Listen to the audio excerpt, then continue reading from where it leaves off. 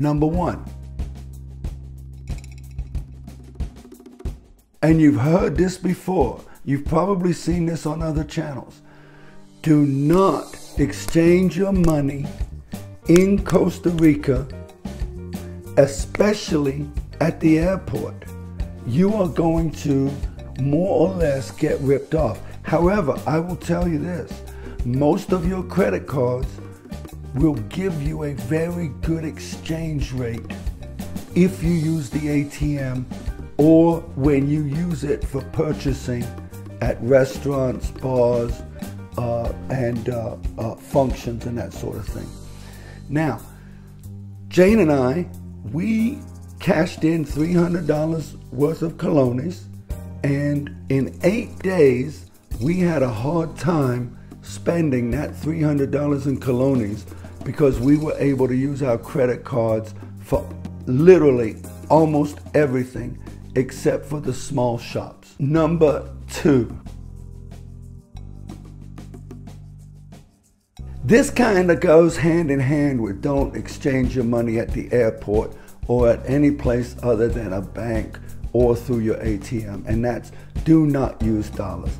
You will never, you will never get a good exchange rate using dollars, and that exchange rate in, in uh, bars, restaurants, and other places is so bad that you'll lose any money that you otherwise would have saved. Number three, which is don't expect your grandfather's, your father's, or your uncle's prices in Central America anymore.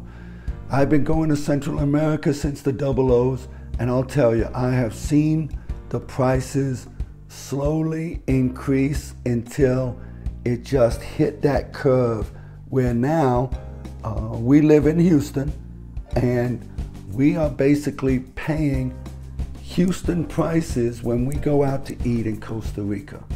And that is because they tack on the 10% service fee, which I think is very good to begin with, and they tack on the 13.9, 14.3, whatever it is, uh, uh, tariff or tax on any items that you buy. So you put those two together, and you know you're looking at around almost almost 30% additional to what your your your prices on a menu will say. Just tack on 30% to that. So go there with an open mind that you're, you're not going to save as much money as you may have heard that you would save in the past. Number four, along with that, don't expect your food to come out at any restaurant quickly unless of course you go to a McDonald's or a Wendy's or something like that. The good side of that is your food is generally prepared fresh. The bad side of it is you need to factor in enough time to wait for the food when it does come out. Number five. You don't always have to expect to eat at an expensive restaurant or one of the touristy restaurants we would go out of our hotel twice in the seven days that we were there. We went out of our hotel, we took a left, and we went to the chicken shack that was right around the corner. Those full meals of chicken, potatoes, and plantain ran us about $3 each. We just went and ate on the balcony of our hotel, and it was a really nice dinner. It was, it was nice to take a break from the restaurants and just sit at home and and have a nice meal and uh, put a little bit of uh, relief on your wallet at the same time. Number six.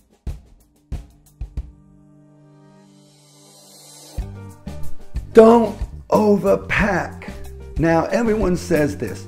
This time, and it still takes me time to get used to this, but this time, the eight days we were there, I took seven shirts. I took two button down shirts and I took two fishing shirts. The other shirts I didn't even need because those because of the material those shirts were made out of.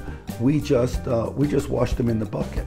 I did take two pairs of shorts. Well, I took one pair of shorts, one pair of swimming trunks, and one pair of blue jeans. And once I got there, I never wore the blue jeans hardly at all, except to go out to dinner. If you pack light on the clothes end, if you're like us, you'll have more room for the fishing gear and the. So everyone says don't pack a lot, but really, you do not need to pack a lot when it comes to clothes. And with that, let's get into what might be the most important don't yet, and that is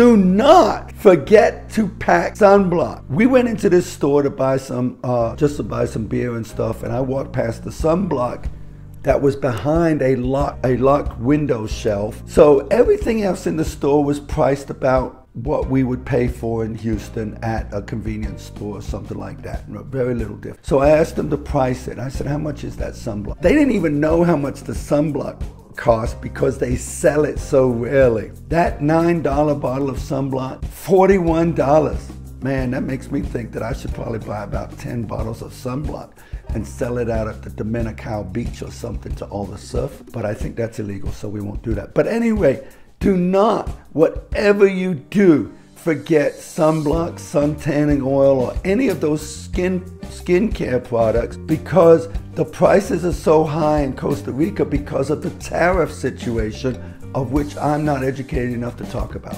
Number eight.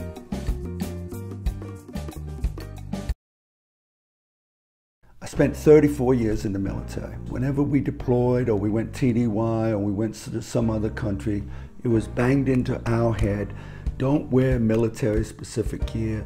Don't identify yourself. Don't stick out. I would have to ask, why do you want to be this guy and his wife? And why would you want to call yourself out from a, a crowd as a tourist? I would just think for the safety of your children or your spouse, while you're traveling in Costa Rica, I think that you're unnecessarily calling yourself out. And uh, I don't know for what reason, by having the military backpacks with all the patches on it and stuff like that. I'll just leave it at that. But if you want to have a discussion about it down below, uh, you know, if it bothers you at all, I, I will do it. But I would just say someone needed to tell you. Admire your luck, Mr. Bond. James Bond. Mr. Bond, I suppose you wouldn't care to um, raise the limit. I love gambling. But again, in the 20 years I've been going to Costa Rica, I've never seen a casino that I was fully happy with. First of all, blackjack is illegal in Costa Rica. So if you don't have blackjack, in my mind, you're not really gambling anyway. But what they do have is they have a, a thing called three card rummy. All I would say is I have seen a lot of groups of guys say, oh man, we're going down to Costa Rica, we're gonna gamble, we're gonna drink, we're gonna have some fun. But you get yourself so hyped up that you work yourself into gambling when maybe you are opening yourself up to a lot of drama. Now, I will say this in San Jose and in the resort, those are the better casinos. If you're going to a casino that is not in a resort hotel that's used to dealing with a lot of foreigners because they have their reputations to uphold, I certainly would not gamble there. But overall, when I go to Costa Rica, uh, I, I, don't even get really hyped up about gambling in uh, Costa Rica. And, and for your good, I would say, uh, don't you either. Uh, just one war story, you know, had a friend, we were all down there gambling, like I'm telling you we shouldn't. And he got rolled right outside the casino. And so here we are on day two of a five day vacation. He doesn't have his credit cards, he doesn't have his ID, he doesn't have any money. He spent the rest of his three days getting ID and getting permission to leave the country. Uh, I'm not saying that would happen with everybody, but when you involve yourself in certain aspects of countries, you you have to be aware that certain things could happen to you. So at any rate, but those are my nine don'ts. I hope they were helpful. I hope I was just being honest. Uh, I don't mean to offend anybody. And if you have any comments, put them below and I'll be glad to explain my position on any one of those don'ts. Till then, have a great day. Bye.